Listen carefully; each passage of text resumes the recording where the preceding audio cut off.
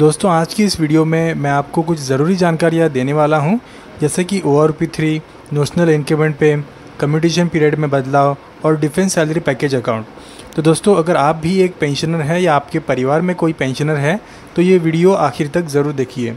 उसी के साथ दोस्तों, आपसे एक छोटी सी गुजारिश है कि अगर आपने हमारे चैनल को अभी तक सब्सक्राइब नहीं किया है तो अभी सब्सक्राइब कर लीजिए, ताकि पूर्व सैनिकों से जुड़ी ऐसे ही नई जानकारियाँ आपको रेगुलर बेसिस पे आगे मिलते रहें। तो चलिए दोस्तों, शुरू करते हैं। सबसे पहले हम ओ आर थ्री की बात करते हैं। हाल ही में एक अखबार ने ओ आर थ्री के बारे में जानकारी प्रकाशित की है। खबर यह है कि ओ आर थ्री की टेबल का काम लगभग 90 परसेंट पूरा हो चुका है और जल्द ही इसे पेंशनर्स के लिए जारी किया जाएगा। लेकिन दोस्तों, मैं आपको बता दूँ कि इस प्रकार की खबरें पिछले कई महीनों से फैलाई जा रही हैं। हर बार कहा जाता है कि ओ आर थ्री की टेबल तैयार हो रही है, लेकिन अब तक कोई भी टेबल ऑफिशियली जारी नहीं की गई है। हालाँकि हमें उम्मीद है कि जल्दी हमें इसकी सही जानकारी मिल जाएगी और पेंशनर्स को उनका हक भी मिल जाएगा। उसके बाद हम बात करते हैं नेशनल इंक्रीमेंट पे के बारे में।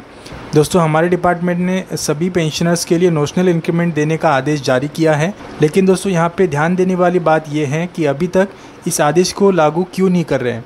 तो दोस्तों, इसका कारण ये है कि भारत सरकार या डी की तरफ़ से अब तक कोई भी स्पष्ट आदेश नहीं आया है। जब तक सरकार का ऑर्डर नहीं आएगा तब तक डिपार्टमेंट किसी भी पेंशनर को नेशनल इंक्रीमेंट पे नहीं दे सकता। पर इसके अलावा अगर आपने कोर्ट में केस किया है और कोर्ट ने आपके पक्ष में फैसला दिया है तो आपको 100 परसेंट नेशनल इंक्रीमेंट पे मिलेगा। उसके बाद दोस्तों हम बात करते हैं कम्यूटेशन के बारे में। तो दोस्तों कम्यूटेशन पीरियड को 15 साल से घटाकर 11 या फिर 12 साल करने का मामला अभी तक डीओपीपीडब्ल्यू में पेंडिंग है। और अगर आप चाहते हो कि आपकी पेंशन रिकवरी जल्दी बंद हो जाए तो आप कोर्ट में केस भी कर सकते हो। कोर्ट में सुनवाई के दौरान आपको इसका लाभ मिल सकता है। नहीं तो जब तक डीओपीपीडब्ल्यू का फाइनल ऑर्डर नहीं आ जाता, तब तक आप भारत सरकार के आदेश का इंतज़ार कर सकते हो। उसके बाद दोस्तों बात करते हैं डिफेंस सैलरी पैकेज अकाउंट के बारे में। तो दोस्तों, कई बैंकों द्वारा ये सुविधा दी जा रही है, जिससे अगर किसी पुरुष सैनिक की मृत्यु हो जाती है तो उसकी पत्नी को सहायता राशि मिलती है। जैसे कि SBI, Axis bank bank of Baroda, Canara bank और पीएनबी, ये सभी bank defence salary package account की सुविधा देती है। अगर आपका खाता इनमें से किसी भी बैंक में है तो आप इस सुविधा का लाभ ले सकते हो। ये सुविधा दुर्घटना में मृत्यु होने पर आपकी पत्नी को 50 लाख से 75 लाख तक का इंश्योरेंस लाभ देती है।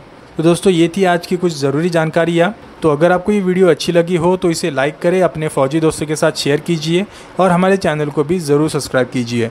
फिर मिलते हैं किसी नई वीडियो में। तब तक के लिए जय हिंद।